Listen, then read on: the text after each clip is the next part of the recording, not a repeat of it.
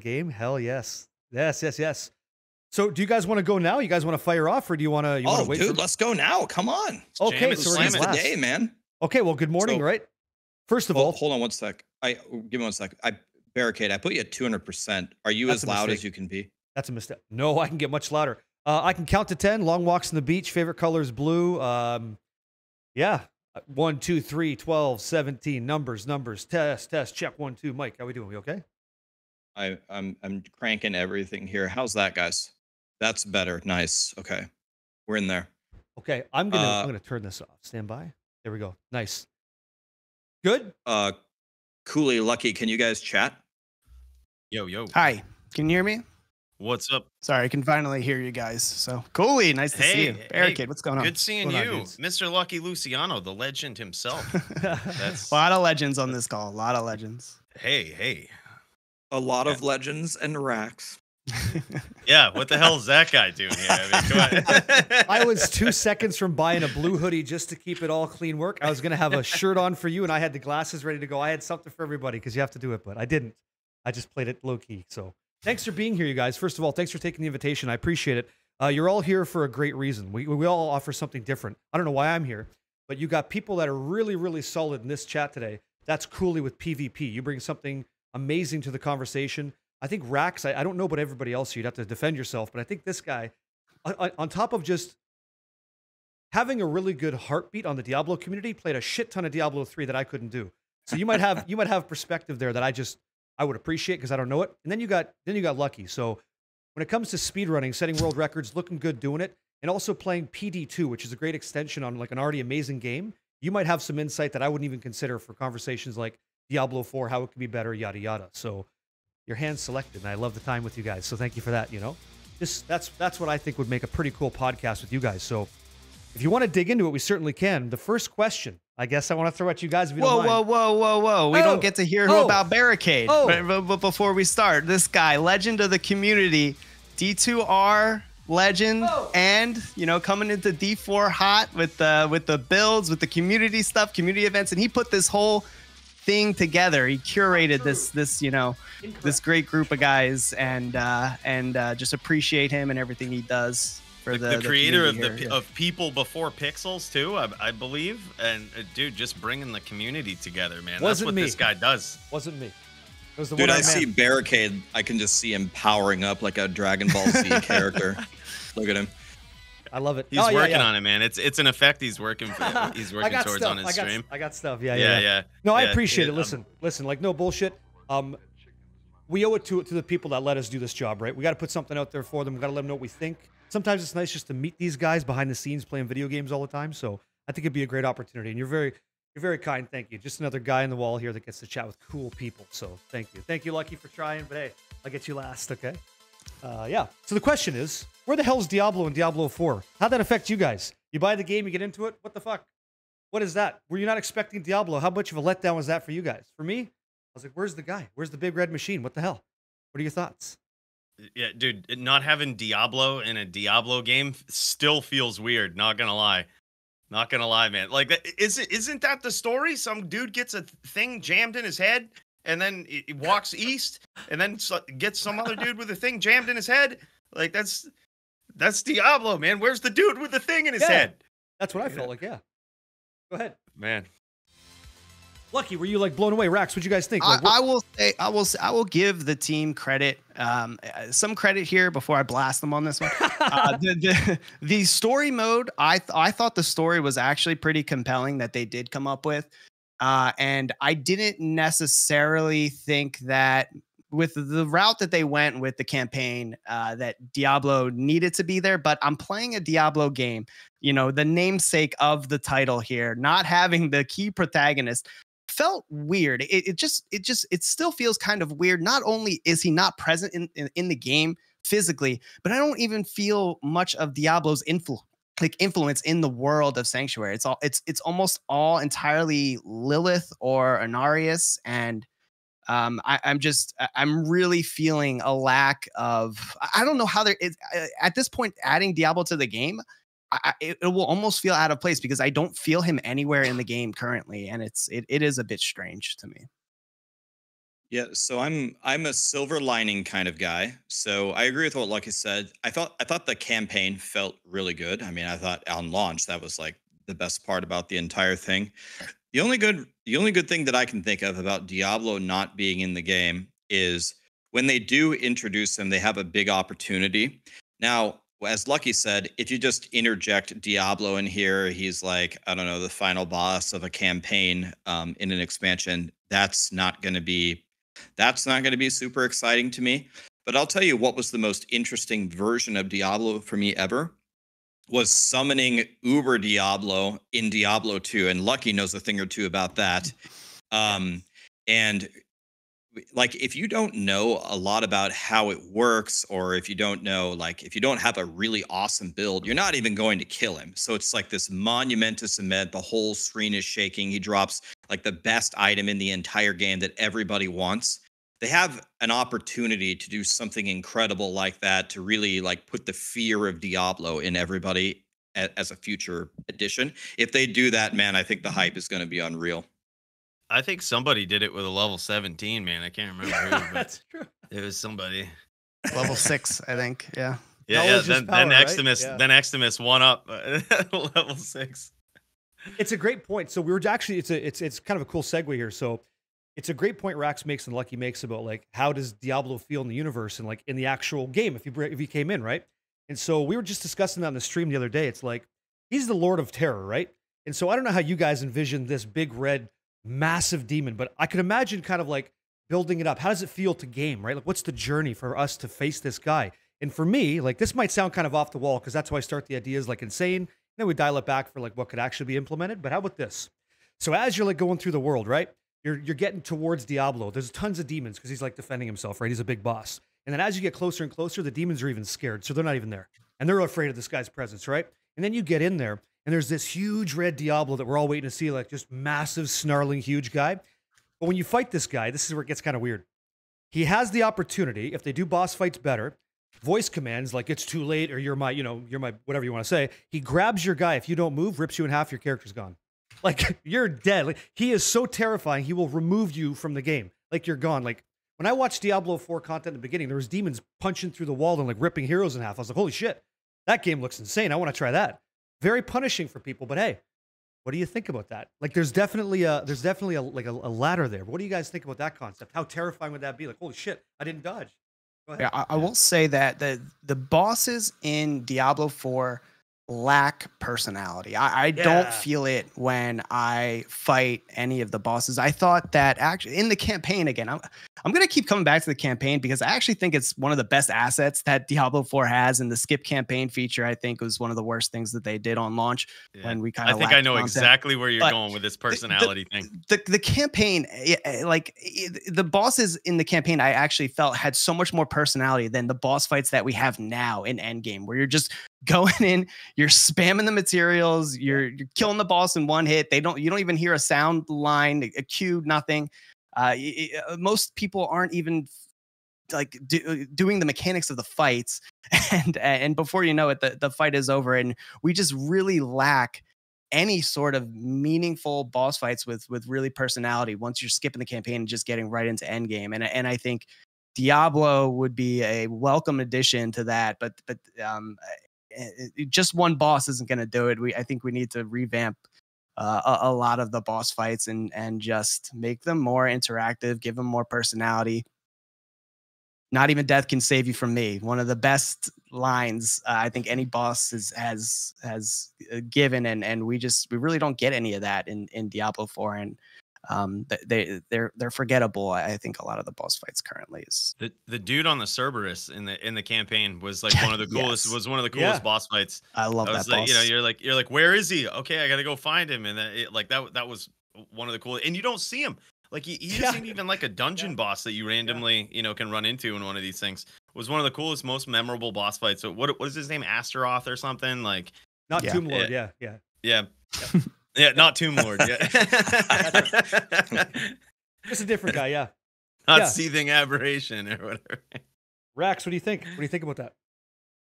Yeah, I mean, so when I think about that, like one of the one of the huge things is I one of the huge things I think builds hype about boss fights is voice lines. I remember, I think it was in AQ40. You get to the end of AQ40 and you fight C'Thun, and you walk in, and the first thing he says is, "Your friends will abandon you," and then he AOE mind Yes, yes, controls yes. like the whole raid. I was like, "Holy shit! My Yeah. friends actually are killing me! Like that's insane." Um, yeah, I I agree with what Lucky said. Um, a lot of the fight, like the only memorable fight for me was fighting Uber Lilith for five straight days and dying 500 times in the beginning, just getting absolutely blasted by her. And I I really miss things like that. I understand that the direction of the game is trying to appeal to everybody, and Uber Lilith, a fight like that appeals to so few people. But not having a- single encounter like that in the game, I do think takes some of the value away. To Barricade's specific idea of Diablo just actually deleting your character, uh, I mean that's that's how it is for me every day that I play. That's how hardcore works. So if we're gonna do that in softcore, then the hardcore thing needs to be even worse. Like if Diablo rips you in half, he needs to like delete all of your characters, or even worse, it just straight up deletes your account and you have to buy a new one. Like we have to up the stakes for hardcore. So, my, my it can't deep, just be my the deep same. end is your shallow end, and you just send it right off in the ocean. It's like, yeah, you boys. I mean, just you got to buy a new game. Yeah, Yeah, yeah, you got to buy a new game. Yeah, yeah, that's actually hilarious. No, it's sick. And you're right. You know, in the hardcore perspective, you don't want to be too punishing, but this is hilarious. It- you guys make great points, and I kind of totally agree. Like the personality conversation is huge, but Path of Exile, we're gonna throw it in there, right? Their bosses feel so much better, and there's a reason for that, right? Even if you don't hear this, the the the voice command before you know Eater of Worlds slaps your your box off screen because you didn't hear it because you was too far away. At least there's an opportunity that in the game it actually has it, and you as a player can react instead of like lightning spires come out and congratulations, you're back at the lobby. Like it feels bad, right? So Path of Exile does a great job with bosses, and I'd like to see more of that in Diablo 4. You guys have played it Cooley. I don't think you played much, yeah? Uh, Path of Exile, Uh, yeah, I, yeah, I played through like most of the campaign. But but not like you didn't do like uh eh, like Eater of Worlds, Searing Exarch, that kind of thing. Maybe No, not no. yet. Yeah, Poe two. Woo-hoo. Yeah, I agree. I think the Diablo 4 could use more. Totally. Okay, and you kind of yeah. you kind of had a good segue there. Uh, I think I think you brought it to the next point there, Rax. Not sure if you were trying to, but it was good. Uh, we have a list here, guys, that we're kind of going through. So you had a chance to. Uh, this is going out to Rax to start off to um, do an interview with the devs, which is pretty awesome. And there's some questions you couldn't ask. And one of the questions on your list, as I was kind of like going through it as you were reading it too, was who's the target audience? And I think for me, I think it's pretty obvious at this point. It's casual oriented, right? And so, what do you guys think about the target audience? Do you think it's casual oriented, or do you think it's for the blasters? Should it take a month to get a character to min max? Should you be able to do it in a weekend? What are your thoughts? It's kind of like a big, vague, generic question, but where are you at with this? yeah. I- oh, Whoever, go ahead. go ahead, Lucky. Cooley, go. Cooley go. I, I think order. yeah, like I, I think it's it's uh it's probably they they want the same they're they're going for the same audience as like PoE and you know it's it's all it's all the same players but I think that uh Rhykker actually hit the nail on the head and even went as far as to post this in the Diablo partner Discord where he complimented the devs for uh finally giving Diablo 4 some sort of unique identity. And I think that's that's been something that Rhykker's been on for a while about like you know that D4 didn't feel like it had an identity amongst uh, um, among the the ARPG community. So hmm. I I don't think that they're really going for like a a dumbed down version of these other games. I don't think that that's really their goal. I think that they want it to be simple, like a lot simpler to understand than say PoE. Like it took me a little while to realize, oh shit, it doesn't really matter what character I start with. Like I got the same skill tree no matter what. It just matters where I start. You Right. know, like Sure. and, and it's it's all so complicated that I think that they're they're trying to simplify that uh to be you know that's that's sort of in my opinion one of the Diablo uh the the Diablo staples I guess is like a simpler skill tree to some to some degree. So they're trying to simplify that, but I think that they still want that depth in character builds. I think that that might be something that they're still going for.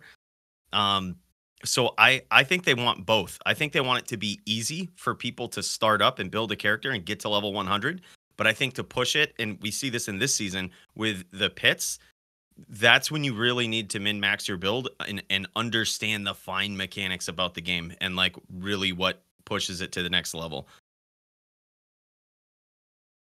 Solid. Yeah. So, uh, it's good points. So, the reason why I think Diablo 4 is being successful now and they weren't successful earlier, they kind of alluded to this. Um, I think it was on one of their campfire chats right after season one. To me, as I as I get further and further into this and I watch like the development of all these games and what the audiences are saying about the different games, it really always just boils down to one thing. How fun is your game to play? It's all about fun.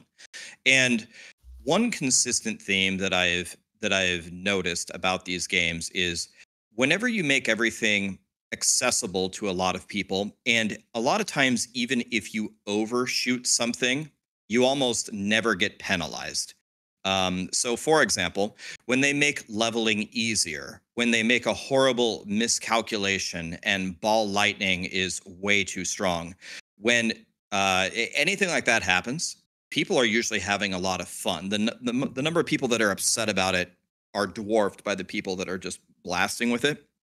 We saw it a few days ago. They announced a big goblin event, and the goblins are nowhere to be found. It's not the March of the Goblins. It's like where's Waldo, except for your where's the goblin. You know, you can't find any. Uh, but then they release a patch and they just start vomiting goblins everywhere, and everybody's having fun. I think Diablo is very, very focused on the fun aspect and is not as concerned with making the most mechanically difficult, hard to build characters out there. Um, so what I'm expecting for them going forward is for them to try to add depth while keeping fun at the top of their at the top of their radar. I think at the end of the day, Diablo 4 is about making money, which is not an inherently evil thing. But the way that they do that is to have people just have fun all the time logging into the game. And uh, there's a huge demographic that does not think logging into Path of Exile and theory crafting that huge tree is fun. Yeah, I, I, Cooley and, and Rax, but uh, they they hit the nail on the head uh, with a lot of the points that I want to make too. And and uh, easy to learn, difficult to master was a theme that uh, Cooley had mentioned, and, and Rax as well. Um, and and and Barricade, when you posed the question, you mentioned, do we think it's casual or hardcore? You know, blaster friendly, and, and what's the target audience for Diablo Four? And and I really don't like the casual versus hardcore conversation. It really rubs me the wrong way whenever that is the the premise of what Diablo 4's target audience should be.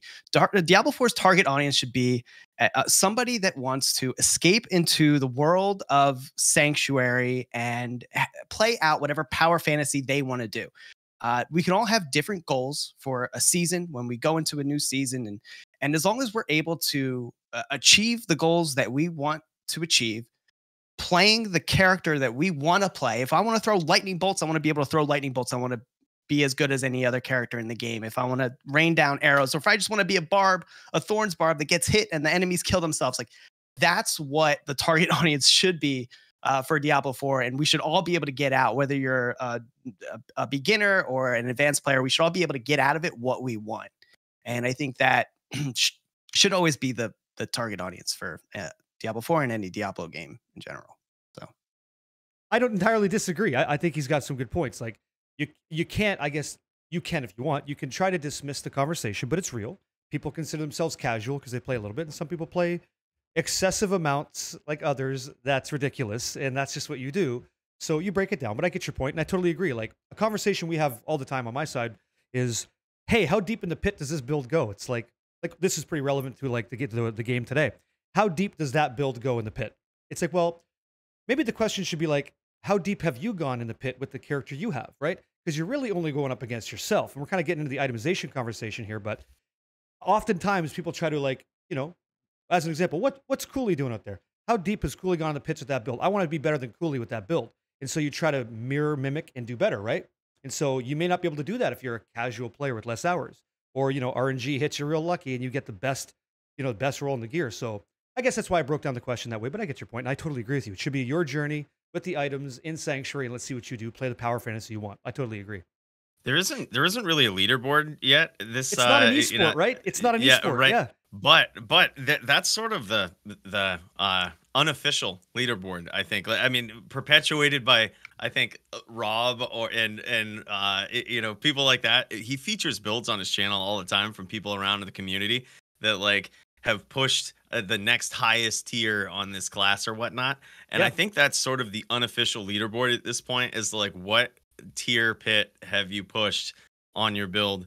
And I don't know. I kind of like that uh, to some degree with with the end game. Like they don't quite have a leaderboard yet, but I mean, how easy would that be? Like to set this up, it's just like this character or these characters right here in a team pushed this tier pit.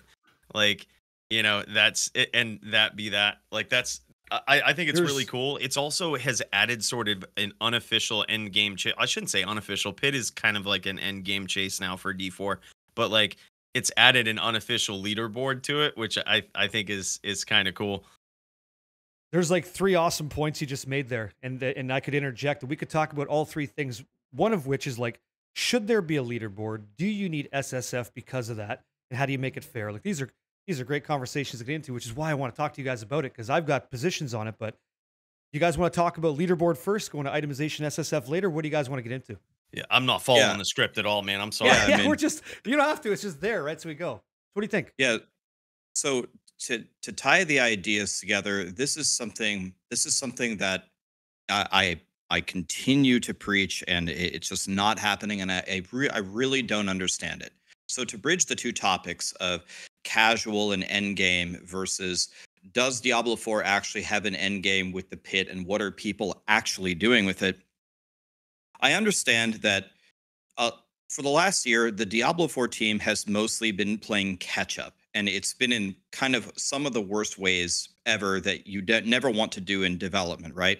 You don't ever want to make something and then realize, oh, I got to remake it again. Oh, I got to redo resistances. I got to redo armor. I got to redo items. Oh, these Uber uniques that we made, uh, Ring of the Starless Skies, this ring sucks, so I got to redo it.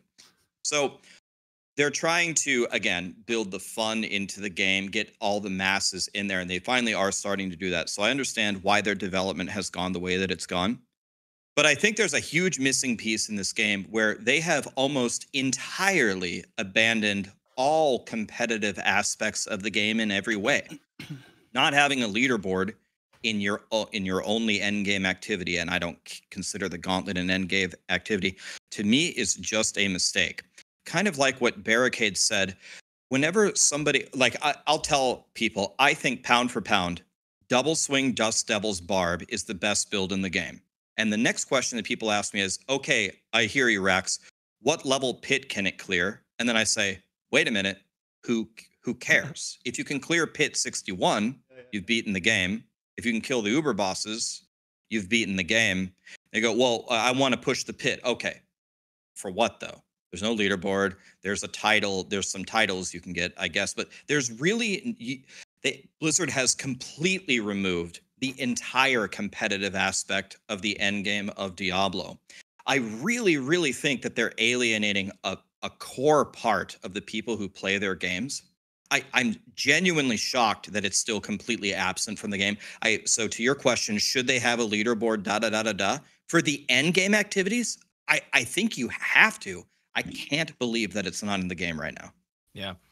Yeah, th- that's a great point. And here's to go on that a little bit, maybe expand it, but also but also to not. It's going to be weird. I'll just I'll just say it, all right? Do it. So Do it. so Yeah. sometimes I think them like Blizzard not actually stating who the best people are or or whatnot, but the community taking over and highlighting it is probably the best thing that can happen uh, for the end game as long as they still pay attention to it. So, for example, like it's cool for uh, content creators, the community in general, if there isn't necessarily a leaderboard in the game, but we know that this person has defeated this tier pit. Or if you take it back to Diablo 2 right? We have this this thing called the the DFC the Diablo Fighting Championship. And it's just it's all high like the highest ranked PvP players in the world based on data that we've collected you know rule sets developed over time that's not in Diablo 2 like it's not something that they can see the the ranks of it's something that the community says okay Blizzard don't worry about it like you know we'll we'll handle this and suddenly i mean that has a lot of attention on it um it's the biggest it's it's you know i'm not trying to toot but it's like it's the biggest eh, d2 pvp organization in D2. Like it's it's the like oh who's the DFC champ? Like you know who's got the belt right now? Like you know that's that's sort of the thing, and it's it, how would Blizzard do that? You know that it's a, it's a lot of side work for them. You know to manage something like that. Instead, just focus on making the game better. Focus on balance and those things, so the community can take it over. You know that like that's I think I think there's a fair point to doing that too. I mean, granted, seeing seeing that sort of thing in game, seeing what the highest uh pit clear is, I think would be cool. But like, you know, as far as leaderboards go, I think they're. I'm I'm not sure if in-game leaderboards are like uh, are as highly rated as a lot of people chalk them up to be, but I could be wrong. I, I never played Diablo three as much either, and I know that like there there was some stuff in there as well. Yeah. Was that a was that a big thing? Like climbing climbing leaderboards there? if if Diablo 3 didn't have their leaderboards, the number of people who played it would have been cut down outrageously. The, the Diablo 3 didn't have anything going for it. Um, Greater Rifts were fun, but they were really never iterated on over 10 years. The only thing was pushing the top thousand leaderboard of your of your of your class. There was nothing else to do. So it would have been detrimental.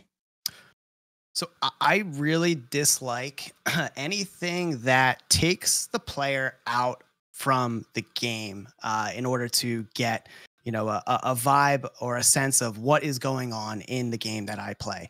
I extremely dislike the fact that we don't have any sort of trade uh, options in game. We have that one trade channel. I don't like that we have to go somewhere else to find what the leaderboards are. I don't like that we don't have social Yeah. features. It's all of this detracts from uh strong community within the game because then you're sent somewhere else you're not playing the game you don't have the cu- you don't have the game up and it it's and you lose that sense of uh, just you know we're all playing a game together.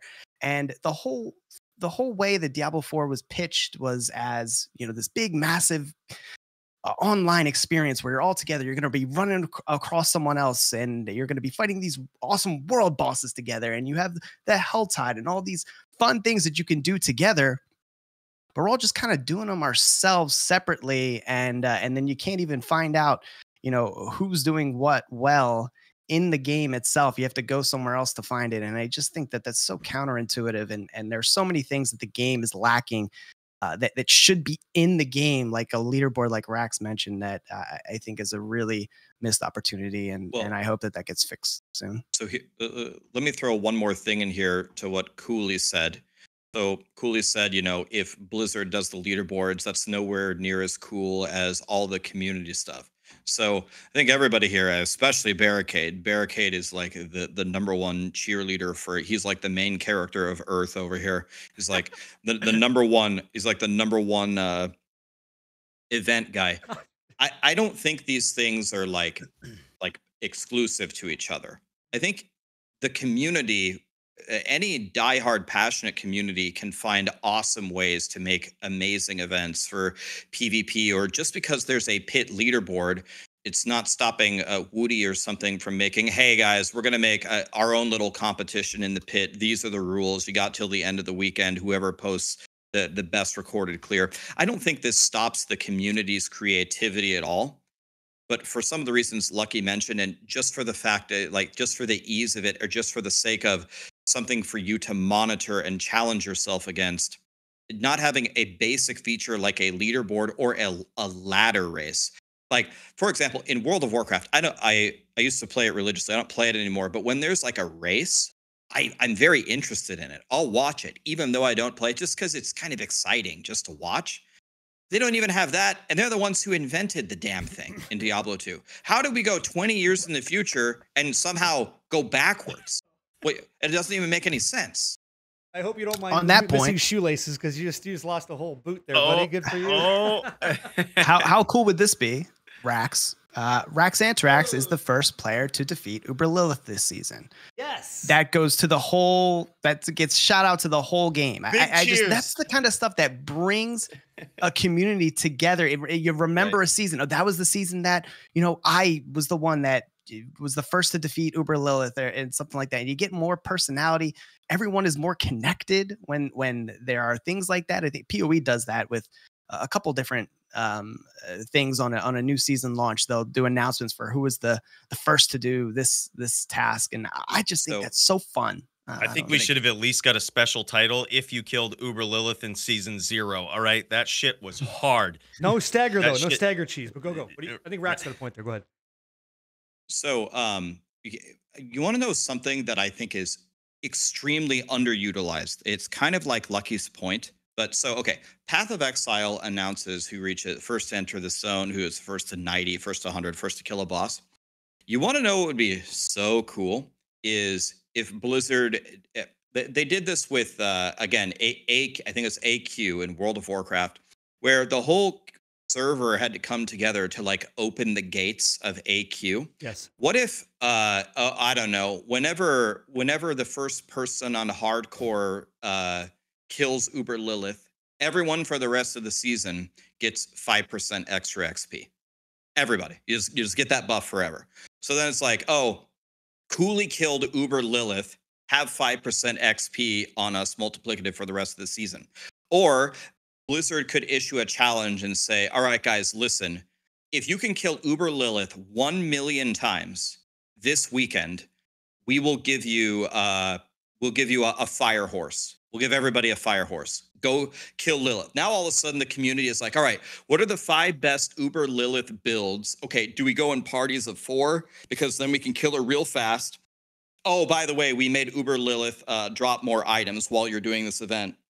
Oh, congratulations. Oh, uh, oh, if you guys uh, do this challenge, we'll take 10% off the expansion price or something. Anything, eh, whatever, whatever. Yeah, yeah, yeah, yeah, yeah, yeah. Anything, Let's cost man. Blizzard money. Yeah, yeah. Why why doesn't Blizzard think of like a thousand of these community things where everybody is actually invested in what is going on in the game? Uh, kill 50 million goblins in the next 10 days and we'll give you a goblin pet that follows you around and picks up gold for you. I mean, eh, Oh, fucking, fucking anything, man. They, they ought to be. I hope Blizzard's tuning well- in and writing this down right now. This is some idea dropping right there. This absolute gold, certain I- pun intended. I think we all hope that they are, right? To your point earlier, they've had a hell of a dev cycle, right? They've been through some shit. And like, I get it. So maybe they're just refactoring the res, they're refactoring armor, they're making items that are kind of interesting because Gohr's devastating grips are actually more like tickle fingers than it is devastating. It's like they've got to rework what's in the game. So I'm with you. I, I, I want this. I'm the cheerleader, like I said. I want this more than anybody. But those are the kinds of things that get me excited. And I'll just kind of chime in on the end point here. I do think Diablo 4, like Lucky said, should have it should have events that that are in the game. I don't want to go to a third party service to get to it. It should, should it's a no brainer. It should be there. Leaderboards are great in my opinion. I'm not necessarily a competitive guy, main main like with with all my main time, but I do like to compete against other people. I find it interesting because, as we said earlier, after you get to a certain threshold in the game, you kind of beat the content. And so I, I agree. We're making a lot of points that are cohesive, and I totally I totally agree with most of them.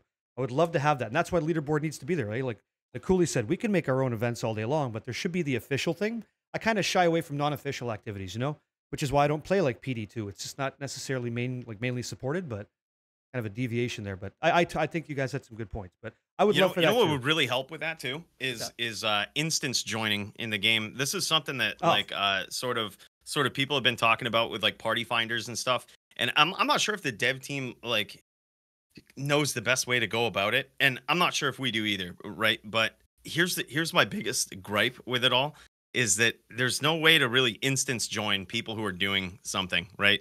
No. So like so in Diablo 2 for example, right?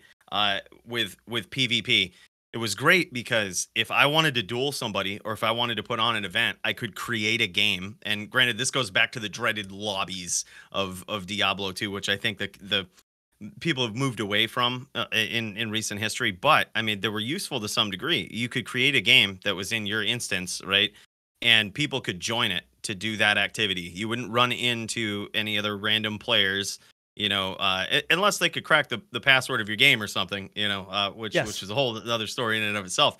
But uh, you could join up in a game and you could find that person in the Blood Moor and you could go duel them. Uh, you could go rush that person. You could help them beat their instance of the game or whatnot.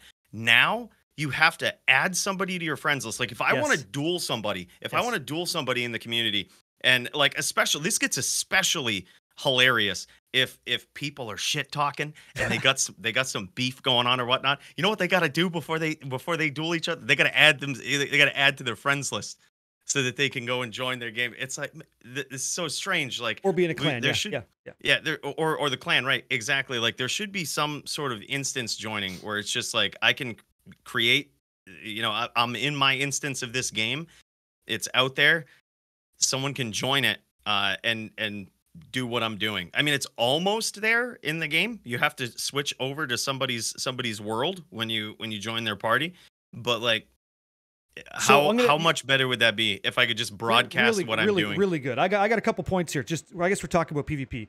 We all know that the social layer is non-existent. Basically, could be so much better.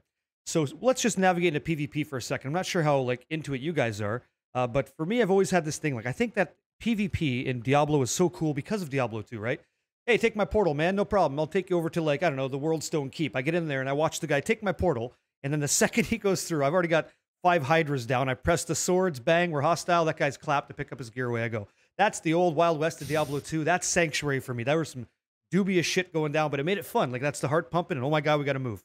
So how does that translate in Diablo 4? Well, here's a concept. Let me see how this how this hits the wall with you guys. What if Diablo 4 had like actually PvP arenas?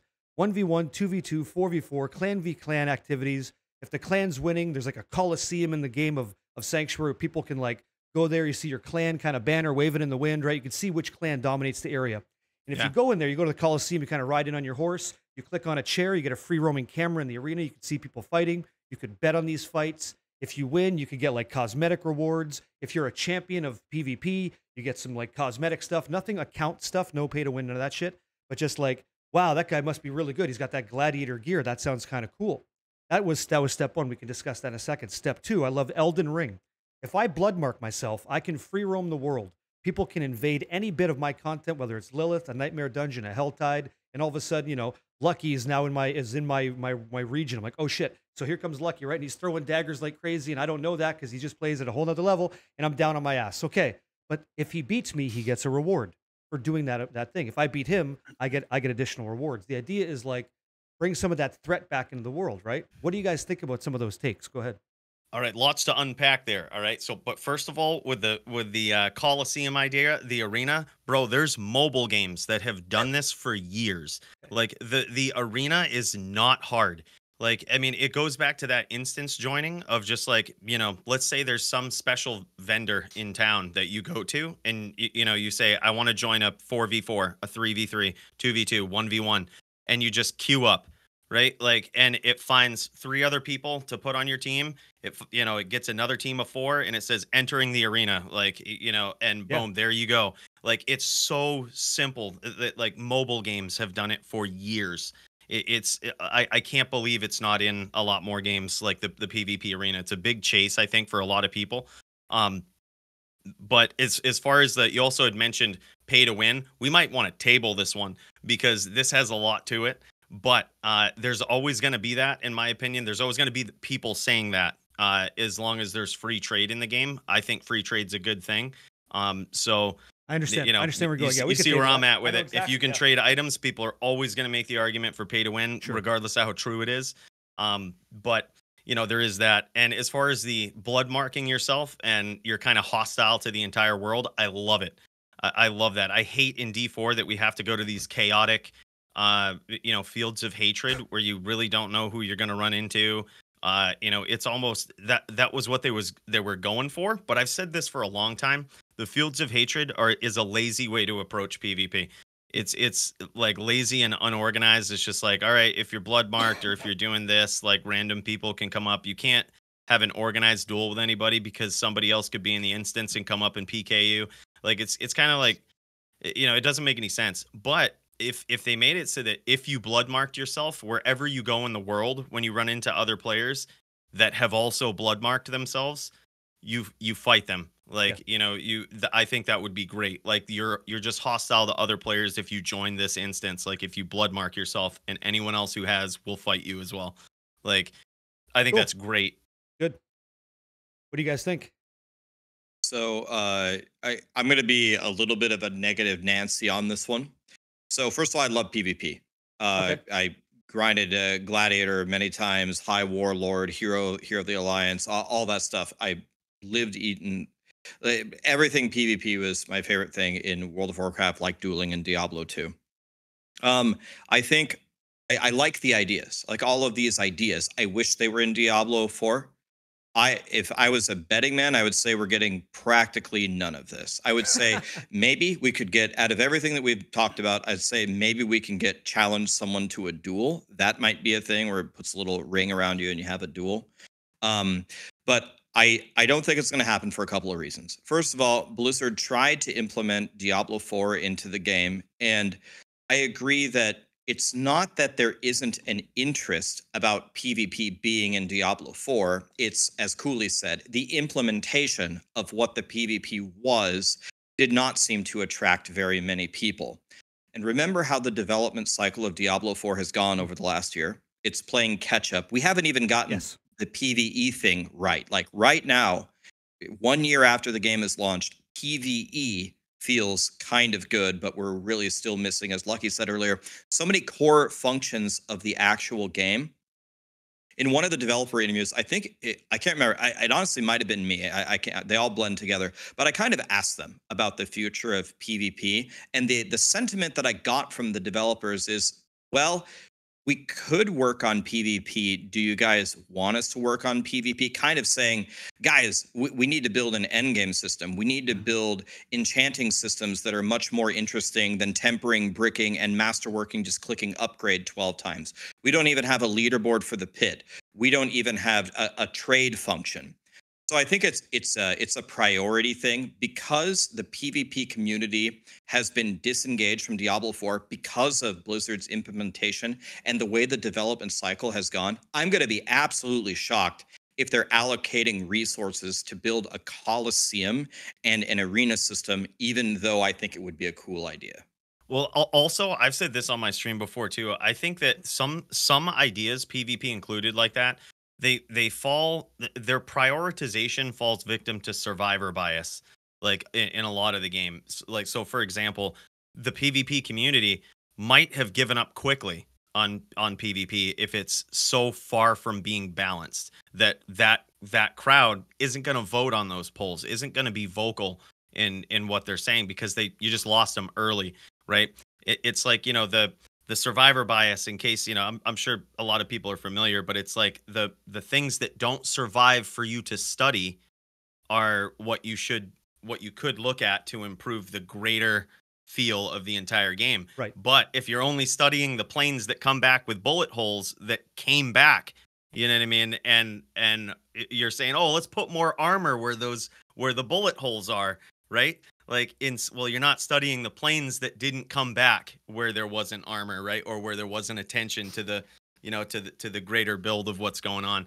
So i think that in prioritizing that that and this is not you know specific to blizzard devs that i think oftentimes survivor bias takes over in what they focus on in the games it's what the people that they're coming back for that stuff anyway they haven't left your game uh, and you know they're they're talking about these things. What about the people that left because it was so badly balanced or unbalanced that they just didn't you didn't keep those players, you know? Uh, so I I, I think I, I think that to see, I would love to see them experiment with that sort of thing and and to say you know what like yeah people aren't talking about this uh but it would be cool and this is this is a new groundbreaking thing that we could do. And let's just see how it goes. Let's see if let's see if it attracts people. Let's add some rewards to it. Yeah. you know let's uh the, you know insert whatever you want here.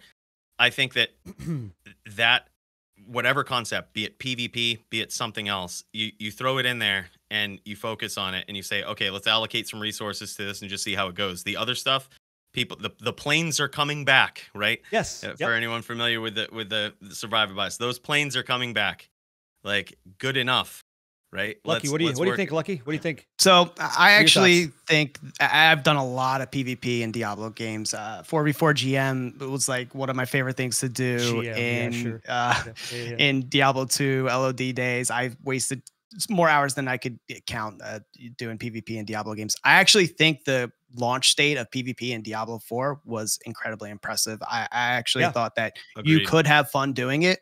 Uh, and that's so difficult in an ARPG to actually release a somewhat balanced PvP thing just right on launch. It gave it to us right away. So I, will say I was impressed. I'll say the ideas were fun, but I'm gonna. Uh, uh I agree 100 percent, 100 percent with Rax. It's just they're missing too many things in the game right now. Like you, you bring up queuing as a guild or a clan to go eh, PvP against another clan. Why can't I queue up with my guild or clan to fight a world boss or a raid boss or something like that? Like th- those are the things that should be in the game first before we start fighting each other. It's it's unfortunate, but I, I really think that people that play ARPGs just 90% don't care about PvP. It's just it's just not it's just not the the core foundation of the game what the players really care about and, and, that's not me like I, I love it but i just think that the the reason we're not seeing the devs paying any attention to it is because they know as well as anyone that there's just other things that we need to focus on the community is we're not yes. going to spend all these man hours working on pvp for for something that just that it's it's a niche part of, of ARPGs and it's unfortunate, but I think that's just where where the, the current state is. And there's so many more things we could do with PVE that are are lacking right now. So sure, that's, that's that's why I also like the the greater point was instance joining. Like you know, is is I think where it all needs to start because you're you're right.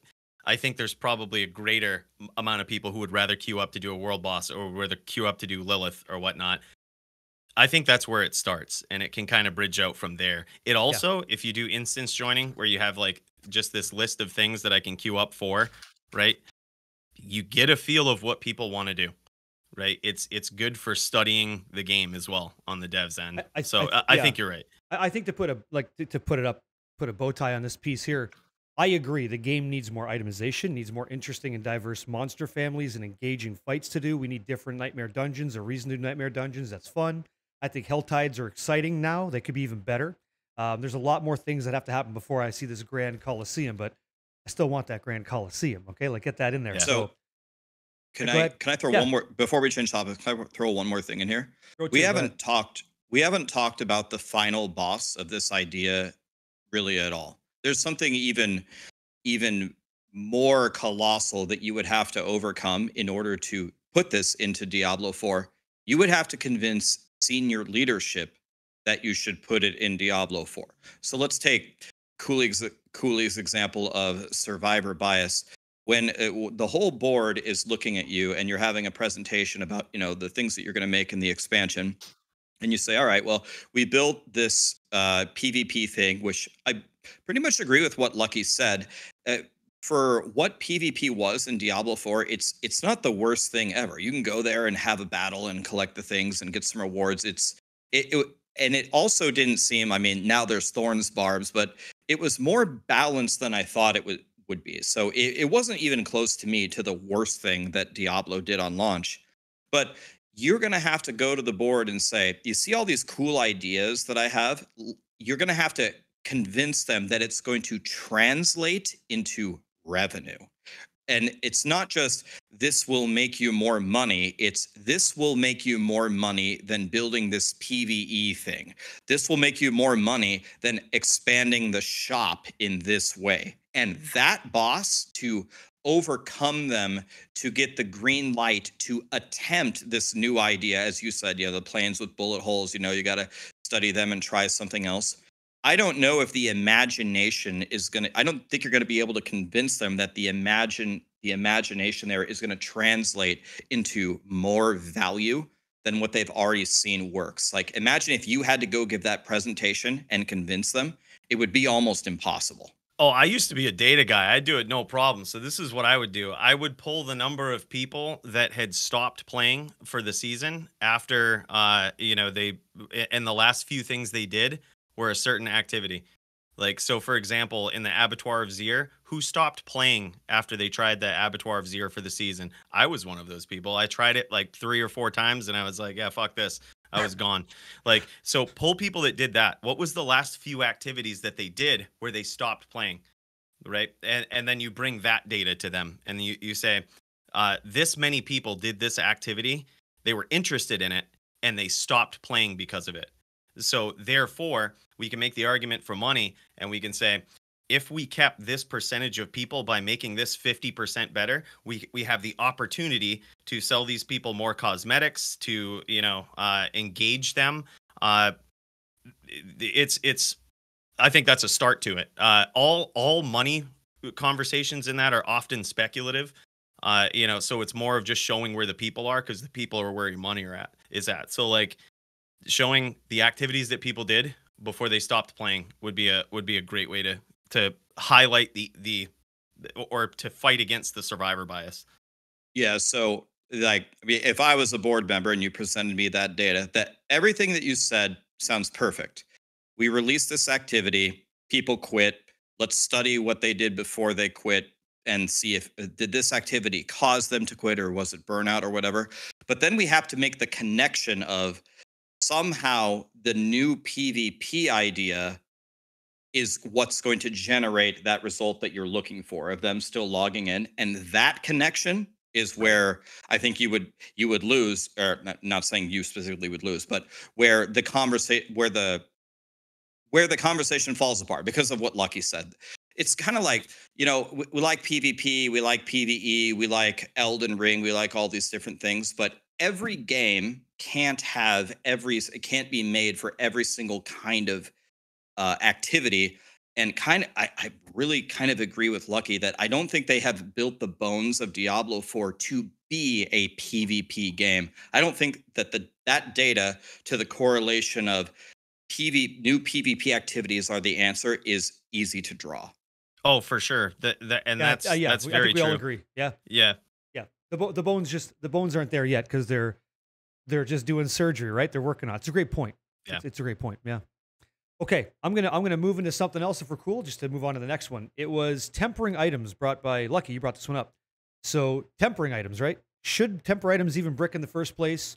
Should there be something in the game like a super rare material that you can get access to, you find, it allows you to reset your tempers? Or another concept, what about reducing the overall item power? So you like continuously retemper this thing, lowering your item by five item power every time you try because you're overheating the object, but you're trying to make it good got to be a bit of a kiss curse here. What do you guys think about tempering today? What do you guys think? What are your thoughts? You okay, so yeah, I suggested this topic, and I, I, I tried to think about it and articulate my thoughts on on what I think should be, uh, you know, the best the best result of, of this. Our items are a journey now, right? Yes. Um, items. I really like that items are a journey but the journey has to end somewhere in my opinion and what items our journey has become now in diablo 4 is that your journey just never ends it's, it's almost like the paragon system in diablo 3 but put into your items now you can't get 100% perfect items it's just never going to happen and without any sort of definitive end it's just going to be okay, one, now all I'm doing is masterworking over and over and over and over and over and over and over again until I hit all of my three perfect masterworks on the perfect, uh, uh you know, affix. And that takes forever to do. If you're going to add in another element to that where you say, okay, now you can reset your tempers and it's going to take you another 20 hours to go reset your tempers the tempers vary very significantly in Diablo 4, and you're just gonna keep re-rolling until you get a max roll of your ideal temper, and like you're you're never gonna just like have your gear and just be okay with your gear. And I don't know, like when I think of Diablo 2, is like once I had my gear, I had my gear, and then it was a matter of me just like getting better at the game or doing something a little bit differently or finding efficiencies here and there and like your skill came out rather than just how much time can you put into the game because that's going to be 100% of what dictates how strong you are how good you are. And that's just maybe a philosophical thing that i differ from uh, maybe other people or how what they want to get out of arpgs if you just want to blast nonstop and it, eh, like the system currently is is a pretty good one. But i also think that for tempering specifically like action should have consequences uh, and I think that, you know, through tempering, we we have similar systems like it in uh, like PoE or uh, Project Diablo 2, where you corrupt an item and that's it. Like eh, my action has a consequence. If I decide to temper again, if I decide to re-roll that affix I already got on my tempering, I could lose it. And that like it needs to be a like that's a real thing. And I I don't think that that's necessarily a bad thing. I I, I think more definitive ends to the life cycle of items is is actually a good thing. And then I could just focus on playing the game and not okay, I need to re-roll this item a thousand more times, uh, you know, to improve my stats on it by three percent or or something like that. And it's just not unfortunately rewarding to me. Unfortunately, my item journey ends with most of those when I see an item drop with three great, great, greater affixes because my anxiety kicks in and I'm like, well, shit, I got to temper this thing. And you know, that's getting bricked. So, so it's like you find a great item and immediately it's like, well, it's got to survive the tempering process. I feel like that's where it is. I don't even, I don't re-roll stats on them. Like, I don't do anything but like the first thing we do roll to see if you even get it's not just a range of those tempers it's like to see if you even get the specific abilities that you want especially if you've built a sorceress this season and tried to do it on like a, on a sorceress where you have five different abilities for you know that can possibly roll in two different things that you need it's like yeah good luck you're gonna brick everything. Like it, it's just the odds say that you're just gonna brick everything that you find you know? Uh, so you're not to get those things that you might need for you know for your build to go to the next level. So like i think it's a good start. You know it's a good start. I, I like the the ending of an item journey somewhere where you have to settle on a range. The the gripe that i have with it though is the fact that you may not even get the abilities that you want at all and you might not even have really a fair shake at getting the abilities that you want uh, with five shots at tempering on it.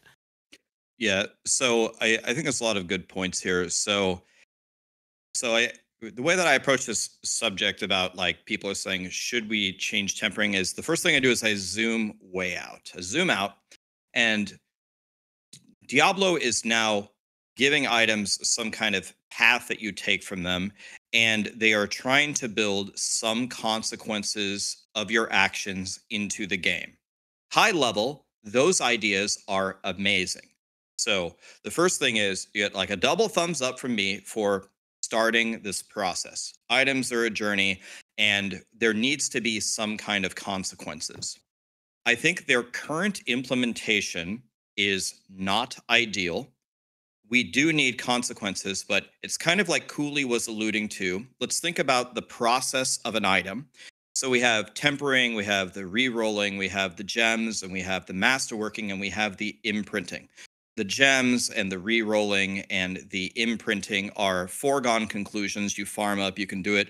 The master working, a lot of people, I don't think even target uh, the triple hit on the perfect affix. You get like the first level, and then you just and then you just go with it. So I even think master working is more forgiving than tempering. But tempering is like the first step, and seven chance it was this. i think it's seven chances seven. yeah. to, to even hit two things to even start the item's journey is not right and so the way that i would explain this uh, the way that i always try to think about this is if i'm going to the blizzard board of directors and trying to say it's like okay you guys want people to play the first the, the only thing that matters is fun let me let, us compare okay so i get a I get a triple greater affix item i'm so excited i feel anxiety. I'm not excited as cooley said because now i have to temper it. I brick it very very often. Now let's look at last epoch. When i get a legendary potential item i'm going to slam something into it and for some reason that feels more fun and less bad than tempering because i'm only going to make it more powerful and if I brick it, well, at least I still have a decent item. I can use it to farm the other ones. It's not really true. If you brick your tempering, you have lost such a colossal amount of damage right at the start of the item. You probably won't even replace it with your shitty one that has the right temperings. And then when I look at Path of Exile, there's so many little meticulous steps to it, and uh, the upgrades are so incremental that it really is a journey because it's only at the very end where Lucky said, and in, at least in Path of Exile, where you can actually say, okay, I made the perfect item. Now do I want to corrupt it and see if I can hit, you know, the ultimate headhunter with the whatever it is, the two implicits or whatever. So in general, That was a good mm-hmm. attempt by Blizzard. It's not even close to the worst thing that I've seen implemented in Diablo 4. But tempering has a problem in that it's the first step. It's so crazy important that it's almost undermined most of the uniques in the game. And it's too brutal in the very beginning. So that's the way that I would phrase it and have the dev team look for a solution. But one final point the, the thing that's very critical that Lucky made, the thing that you can't get rid of is your actions need to have a consequence. But don't brick my awesome item at the beginning before I've even done anything with the item. Mm-hmm. That's a really good, really good point. so, Yeah. so I guess like to, to open up this this a little bit more, the concept to you guys. Do you think Diablo could start to resurrect a fix for this position where there's a rare item that you could go deep in the pits, 100 plus, and then you could might you might actually acquire this thing that allows you to reset the temper, so you don't just lose that triple GA or that bricked first step doesn't really happen because hey, guess what? You found that thing to make it a little bit better for my position here, I don't mind the temper process because I like the kiss curse, but I know it's not great. It's just a start, right? And I'm willing to start the system. But I I don't know that I love the idea of a rare item allowing me to just get a jet, get out of jail free card. But do you guys think there could be something called I don't know Diablo's sweet magic box, and you pick it up and bang, it resets your temper to zero? I don't think I- so. What do you yeah, think? I think another problem with with that is kind of like what Rax said is like where is it coming in the life cycle of not only the item but your progression. If you're bricking your items, you're not going to be able to get to the item if it's in like the the late stage pits and and people are all going to have to look up meta builds just to get this item so I can make my item for the class I want to play and it's going to force you into you know playing maybe a, a class or build you don't want to play and and um and then it's it's just it's really tough it's really difficult to say um you know where I, I think reevaluating where you do have this like bricking system is is really the best option here and um with this the life cycle of an item the, the, like items taking so long an adverse effect of it has been we can't just re-roll to another class so easily it takes so long to like actually make these items yes. before you just threw another a whole set of items on and you could play any other build in the game but now it's like oh if i want to try a new build to go get this item I, i'm going to have to do this whole process over again i'm going to have to temper and brick half the items that i need for this other build variant and then i've got to masterwork them all and it's it's going to take me so long to even try to respec to to to play a build that would be capable of going so deep into the pits because not every build's going to be able to do it that uh, it's it's very uh, it's it's very counterintuitive to like being able to try new builds. This new items are a journey system. I do like it, but uh, as a theory crafter who likes to try a lot of different builds, it has handicapped me a little, or just take it. It, takes me a lot more time to be able to go and try out a new build now with how long items take to to make and craft. But that that's my my thoughts. Yeah, I mean, and and think about what people are doing last too, right? We're master working, and a lot of times we're blowing through materials, just re-rolling, like Rax said, trying to get that good first like buffed roll on one or two abilities, and then you kind of finish it. Like that seems like a good item journey end and, and an essential soft bricking of an item, right? Like where you've spent so much gold and so many materials, like, and this is this is how you feel after you've have, have obtained the the tempering uh you know that you need net coded said in your chat barricade just remove tempering limit like problem solved but that's not it. It- I'm hearing yeah, you I guys don't talk, think and, that's- and there's I don't two think things that's here. it. Yeah, there's I don't two think things. Just it, really quick. it- You're talking about yeah. having fun in Diablo 4 and the item journey. And when I hear I hear the conversation, which is great so far, the item journey isn't necessarily fun because of the weight that it applies to you. You can't get out of town because you got to spend 10 years making that sword right, or else your bricked build doesn't work. So is the I love the item journey too. It sounds like a good a good way to go, but it sounds to me like from what we're hearing, it's like actually not fun because it's actually more restrictive, which is kind of interesting to hear. So, I- I so like my my thought on it was that uh, so imagine this, right? Right now we have a, a soft limit on how many times we can tamper something, right? What if Seven, yeah. thinking about what people do last in the item part of the journey and the consequences that exist? You know, riddle me this: What if there was just a monetary in-game gold tax for retempering, or uh, I'm sorry, yeah, retempering an item? And then there's a hard limit on how many times you can reset your master working right so like think of that Now you have basically the full item that you need, but you can only reset the master working five times. Like, and if you brick it, then like, I, and I you don't, don't want to get be what rude, you but I want. think I hate it. I Really? rude. Yeah, I, I don't know. I just I, we're putting more restrictions on the item journey. It, it's less of a journey and more of a stop. It's like I I don't know. Maybe I'm misunderstanding. I'm not Yeah. sure, but yeah. So, Oof. um, so the the I I completely understand where the idea comes from. Of hey, a very rare material, you get to pit 100 or pit 61, it starts having a chance to drop to reset an item's tempering, or and then we start to explore how do we actually change tempering and masterworking. If I was running the Diablo 4 team and someone came with me to the idea, let's drop a rare material to reset it, I would give that a double thumbs down. And the reason why is you are not fixing the core problem. We identified the problem Yes. of tempering is Yeah. first. You brick it all the time. It's just creating anxiety and all that remains. And now you have to go farm this rare material. That I, I want them to solve the problem. Now, so let me give you an idea. And this would apply more to tempering, but not to masterworking. So I'm not saying this is the best idea, but let's say for tempering in the end game, you reduce the number of tries tremendously. Instead of seven, let's say it's two or three.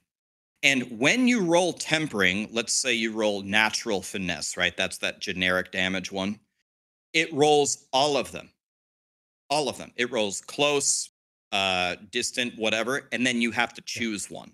But you have barely any tries. So you roll it and you're hoping for close, and you get, oh, a minimum roll of close, and then you get uh, a, a decent percent damage roll. And you're like, well, I guess uh, I'll take the close for now. You roll it the second time, and then you get like a little bit better of close. You're like, okay, I'll go with that.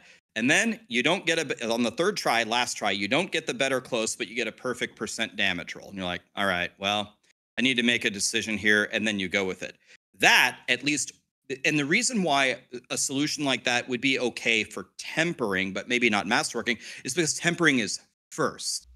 The first step shouldn't be the most brutal step. Otherwise, you don't have a journey for items. If you break it at the start, you're screwed.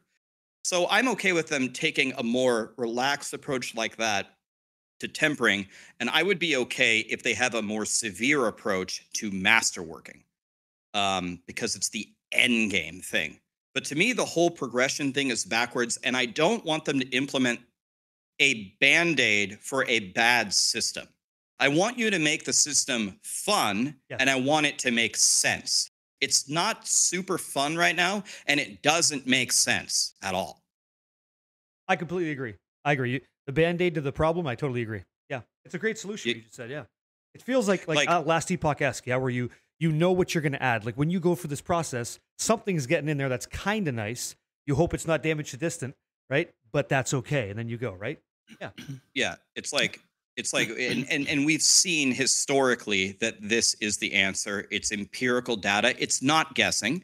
Oh, sorcerers suck in the beginning because they can't survive. Okay, let's give them more access to barrier. Oh, and uh, vulnerable and critical strike damage are are everything. Oh, well, we can only apply vulnerable with Frost Nova. Let's try to give them more access to vulnerable. Oh, but now sorcerers can't survive because they can't get enough armor and resistances are bricked.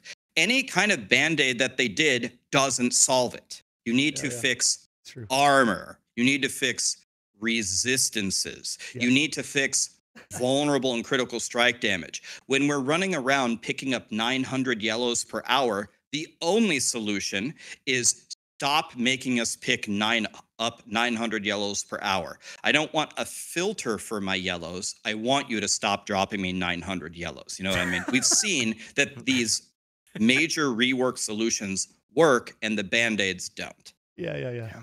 That's funny. Something Yeah, that PoE does is uh, like the crafting bench, which is I think similar um, in, in a sense where you can uh, choose to use a little bit more of the resource that's required to craft or temper, and then you can with that increase your odds of sort of getting the temper that you want.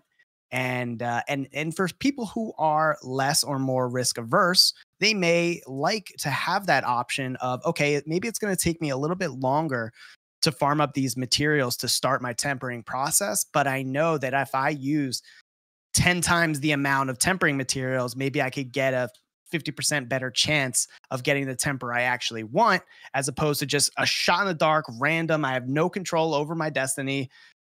You know, RNG take the wheel, whatever I get, I get. And uh, and I think we're all different. We all have different levels of risk aversion. And I think you should be able to play how you want. Uh, like you should just have more options of playing the game how you want to play. If you eh, like, it doesn't have to be complete RNG every single time. Like there are ways to go about it that are equitable that could make sense and just give you a better chance of getting the desired result that you want. But it's going to cost you whatever whatever that is.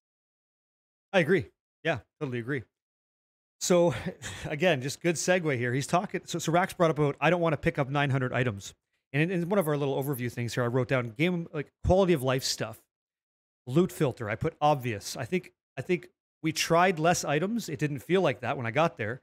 I'd still like a loot filter. I understand that I'm going to need to get some resources in the game, but I still think Diablo 4 needs one. I think we all agree. Maybe we don't, and you can speak up if you don't think the game needs a loot filter. Yeah. Anybody, everybody on board for a loot filter? We all want one. Loot filters are good. We even got a special guest that wants a loot I filter. I see. Yeah, yeah, yeah. Doggy treats and loot filters. Yeah, yeah Everyone yeah. wants a loot filter. Yeah. Even the dogs. right. Looking, Oh, looking, so- still looking for so one. yeah. cute. Yeah, yeah, so good. Oh, Awesome. yeah. Yeah, so loot filters. I think I think we uh we deserve it now. I, I do think that the take was right. Itemization changes feel good. But here we go. What do you guys think about character specific stash tab and then shared stash tabs? We saw this in other Diablo titles. This way it's not so jam packed. And I'm gonna throw another one in there. So character specific uh, character specific stash tab, excuse me, and then loot Tetris. Why the hell is my two handed sword the same size as my ring? I like old school. We're, we're playing a fantasy game, right? That sword's big. It's not the same size as a ring. I know a lot of people don't like that take, and that's okay. You're you're I think you just opinion. lost a thousand followers there minimum. That's like a that's that was just the the initial loss. That, that's fine because we get a better game overall. I'll be okay. I can weather the storm, right? So, what are your thoughts? What do you guys think? More stash tabs, the better. I, I don't care what you make them. uh, Make them character specific. Make them what. Let me do what I want with my stash tabs. Gives me more of They're them, and let me stash do whatever I want with them. Okay. Yeah. Would you You- buy? Would you buy five more tabs for five bucks? Should that be okay I in would. the game? I I would, but I don't think that that's. I don't think you should have to in Diablo 4, a game that you pay full price for. But Right. but- and then that's just me personally. I would buy them, but Blizzard don't do that to the, the player base, please. Gosh, Yeah, mean- character specific tash, uh, stash tabs sound great. Uh, you know, I I always like the inventory Tetris, but uh, it- it- I'm I'm I'm cool with how it is either way. Yeah. Uh, I I think adding some sort of depth uh, or some sort of visual, uh, greater visual to the larger items or whatnot is cool, but unpopular opinion, I know. yeah. I, I as I was uh, just give me a stash tabs, any flavor. I'll take this character. I'll take anything. Give me anything. Uh, Yeah. I, I making a Tetris thing just stops me from blasting. If you stop me from blasting, my fun goes down. Uh, I, you can always argue it from a fun going down perspective. I get I get it, the immersion, but I don't I don't want immersion. I I want to blast. I threw in the quality of life ones just as like a cover because I think that's like stuff we got to hear the way we think about it. This is one that I'm pretty passionate about, and it's not a it's not a a death sentence or anything like that. It's just I'm very passionate about the lack of creativity in uniques, and I'll describe what what creativity kind of feels like. Fractured Winter Glass, yeah. You actually have other spells that conjure other spells. It was a great new thing. You can make a fireball bounce. That's kind of cool, but all right. I think the game could be better, and I know they're working on a lot of stuff. But what are you, I want to hear what you guys think about the lack of creativity in uniques, and maybe implementing it, and maybe something like this. What if you had an item? Because right now, first of all, the problem uniques have a hard time standing up against legendaries with tempering masterwork. But what if you had use of interplaying between the systems of paragon boards like glyphs, magical glyphs that nobody uses, and a unique that you equip? And if you have that magical glyph on a board and that unique equipped, you get a set power. This way, you don't rely on full itemization to make your character feel better, but you interplay between the systems to make this other advantage happen. So, as an example, I wear gloves called gloves of, I don't know, inner flame. And whenever I cast Hydra in the same place twice, Hydra becomes a flame dragon that moves around and it becomes Tiamat's champion. It's out for 30 seconds, okay? And I only get that if I make very specific decisions to em- embrace that fantasy. What do you guys think about a concept of uniques are underpowered, not really selling the fantasy? And and what are your thoughts on what I yeah just throw out there? What do you think? I think you're Whoever on a way different creative planet than most people barricade with Okay. ideas that are outworldly. Are you an alien? no. What is this? Just curious. Yeah, no, no, no, nope. You Yeah, touched on that's- a lot of things. Yeah. Yeah, I did. Whatever you want to go on, go ahead. I so uh I love the idea and you and I are definitely on the same page here. When I was uh, back when the dinosaurs roamed the earth, I got to try a super super super insanely early version of Diablo 4 to give them feedback. Wrote a huge document. And actually a lot of what I wrote was almost exactly what Barricade just said. N- not not so much like the interconnection between systems that's like that's like the next level. Hopefully we get that in like the expansion. I would love anything like that. But the reason why Path of Exile is fun to me is I'm looking for a mage blood. I'm looking for a headhunter. They're so rare. I'm never going to find them, but maybe one day uh, I can hope to find enough currency to buy one of these and then when you find them you're you're an absolute god. I am so sick of seeing legendary powers and uniques that say stuff like basic skills give 10% damage 30% attack speed. This is the way this is the way that i phrase it. You uh, like blizzard used to be at, at the top of the world for like designing games right? And everyone has a different opinion but a lot of people think that they aren't there anymore.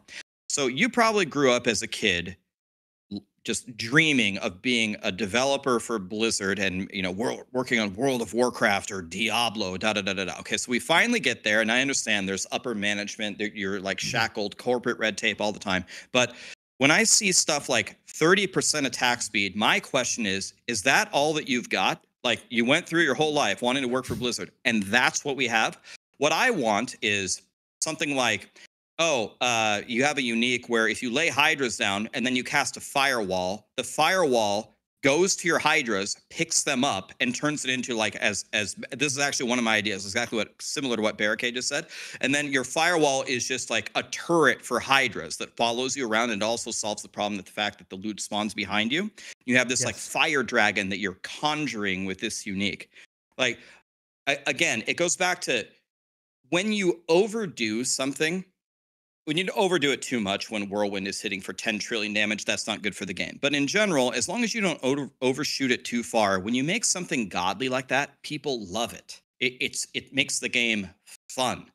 So i think this is one of the absolute most critical things for diablo 4 going forward. You've got to make uniques that do crazy ass shit that give you dopamine when you actually find them similar to the uber uniques like the only two uber uniques that drop where i actually really feel like I got something are Shako and Ring of the Starless Skies. And Ring of the Starless Skies used to blow. They had to change it.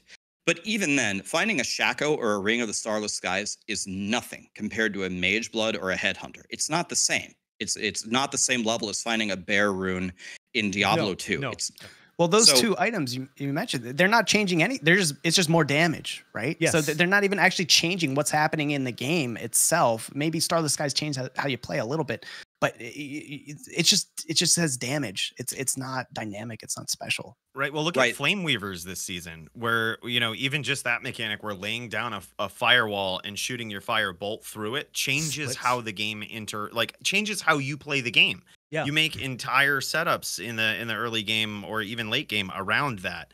You know, and even just having a simple mechanic like that, uh, to to literally alter the skills that you cast in the order that you cast them is makes for interesting gameplay. Well, yeah, what sort of spawned all this, like, I guess, was that I was I play a lot of I do a lot of community games. I play with people all the time, and I'm on a sorceress, and I'm throwing down firewall, or I'm making these conjurations come up, and it would be so cool to have like if, if all four of us were playing, right? You guys, anybody on a whirlwind barb, you whirlwind through my flame wall, your weapons are on fire. I empower the way you play, which makes you want to play with me, which makes the team dynamic so much more interesting. I know Diablo 4 is not there, but I'm willing to say, like, if we get there, then that's so much that's so sick. Like a chain build on a rogue or, or excuse me, like a barb where I chain them up and then the rogues there drops caltrops, they they're live bleeding and I could drag them through. Like it, th- that kind of stuff is where I want to see an ARPG go. And so I had to throw this in for today's conversation because I just think it could make the game so much more diverse and better. I don't know that we're necessarily close, Yeah. but I think it, it gets so much better for all of us if, in a fantasy perspective, that's where the game goes. You know? Yeah, I mean it's Can a I- role playing game, right? If you Yeah. have a role on a team that you're playing and you're buffing the team, I think that's also something big that's missing Huge. from Diablo 4. Right now, one of the coolest builds that uh, one of my friends was amped up about was when he saw that you could build a support barb, a Z barb as they called it, Yeah. uh, you know, in D3 for this season, and he could just chain people in pits. He could just he could just pixel people, you just and he's like, "You guys friends." solve the problem." Yeah. You know, that's his role. That's his that's his job. And just imagine if every class had something like that, where you're like, "I I can't kill." But what I can do is help my team, help the help the uh, you know the the pack killer. I can help that person, and then when we get to the boss, there's a boss killer. I need to help that guy. Like you know, there's a role that you play on a team. I think if those builds existed and could significantly amplify the damage that another player does or whatnot, is huge. Adds to that group mechanic and gameplay would be nuts. Can I can I admit something, Rax? um, Were you finished with your thought when you were talking about the Uber Uniques? I, I apologize. Um, was, No, was there? no, I have one final comment, but Yeah. it's separate. So go ahead. Oh, um, well, uh, so my admission here is when when they start talking about season four, uh, one of the notes in the campfire chats and in the chats they did with us was Blizzard said that we're gonna double the amount of uniques that you get in season four, and uh, and then they showed the fractured winter glass and they showed scoundrel's kiss ring for the rogue, and these were all uniques that were changing the way skills were, and I'm thinking. Oh my gosh, they're going through and doubling the amount of uniques that we already have in the game. Yeah. That's awesome. That's what this game needs so much. You're doubling like the the cool items, and you're and they're gonna be neat, like Fra- fractured winter glass, scoundrel's kiss, and then it's like actually instead of getting one new unique this season, you're getting two u- new uniques this season, and that's doubling the amount of uniques. And I just like kind of face palmed, and I don't know if anyone else interpreted it that way. If it was just me, I was being t- too hopeful. But like that's what this game needs. You Yeah. need to just. I feel like it's so, so lacking in the amount of uniques that we even have that are even viable. I was so encouraged, doubling the amount of uniques for season four, and it just meant we got two instead of one. And and uh, Pretty cool need to too, though. Pretty cool too, though. yeah, they, they were good. They Yeah, were really yeah. cool. yeah, I get. But I, I, I- we need more. I don't know. I think. Yep. Yeah, so I, I I'm not a video game developer, so I always have to keep myself in check here because you know it's uh, certainly way harder than anyone thinks that it is. But if I was in charge of the Diablo 4 team, let's say like the expansion, and I was having like a, a sit down with like the, the class designers, I want to just I want to just wipe the slate clean for a moment. Men in Black, let's just wipe everything that you know, and it, here are the here are the classes that we have in the game. Now, I want all of you to go back to your desk and I want you to write down three crazy things that all of these could do in the game. So, oh, Mr. Druid Man, I want you to go back and I want you to look at Lightning Storm and what's the craziest thing that Lightning Storm could do? Like, oh, you actually just make lightning storms all throughout the ceiling and it starts electrocuting and chaining through the entire dungeon or wh- whatever's the craziest shit, the, the craziest shape shape shifting things you can come up with.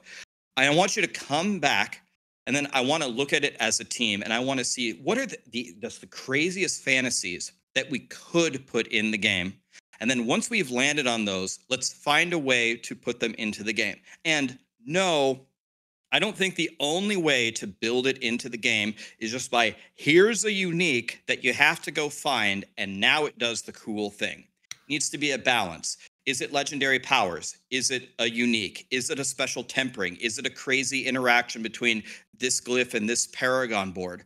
But I want to see way crazier things in the game because the only metric that I'm trying to drive up is fun. If fun goes up, everybody wins. And uh, this would be like my main directive here of how crazy can we make the game? And I think they've been kind of going in that direction. I really wish that they would double down on this way more. Yeah, I liked another thing you said, Barricade, a lot with the Paragon uh, interconnectivity with the uniques. That was such that's such a cool idea, man. I, I really like that one because right now I look at my Paragon board. I don't know if it's the same on other classes. I play a lot of Rogue. Blizzard says we're going to get rid of all those damage on Tuesday affixes from all your items. Why is my whole Paragon board just other damage on Tuesday affixes? Why is that my only option in my Paragon board is is just to get damage when something's affected by your trap, mm-hmm. damage when something Yes. is is Vulnerable. chilled. You know, it's Yeah. my whole Paragon board has not been updated to, to this new philosophy of the game. So, so an idea like you gave with the with almost you're creating like a pseudo set with your uniques and Paragon is really cool.